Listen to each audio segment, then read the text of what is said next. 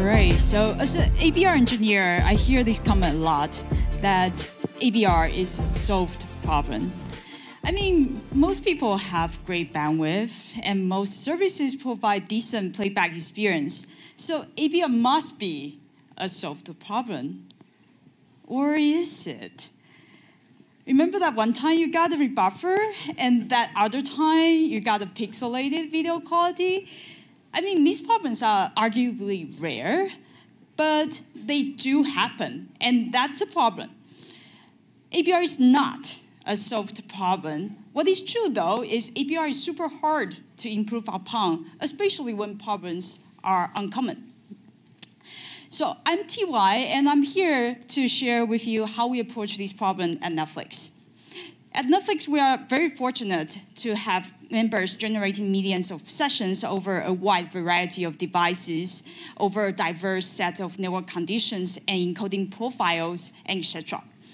Given such a complex system, uh, the biggest question is how can we find the biggest uh, improvement that we can improve upon? And that, that is a hard problem. So ideally, if we can review every single sessions uh, of the each individual ABR decisions after the fact, uh, then we can use the observed throughput uh, plus the, uh, the encoding uh, quality that uh, we provided, then we can calculate the optimal ABR decisions. And we can use that to compare it against uh, what we do in production, then we can see what's the, what's the discrepancy. The problem though is this is the optimal selection is actually an NP hard problem. And if you are uh, a geek like me, then you will know, you will be excited that, uh, to know that this is actually equivalent to the multi-choice, multi-period knapsack problem, which is exciting, but it is computationally uh, expensive and not really scalable. But very fortunately, though, uh, there is a linear time approximation available. And the main idea is that we can prioritize the bandwidth allocation uh, to the earlier chunk, given they have a tighter deadline.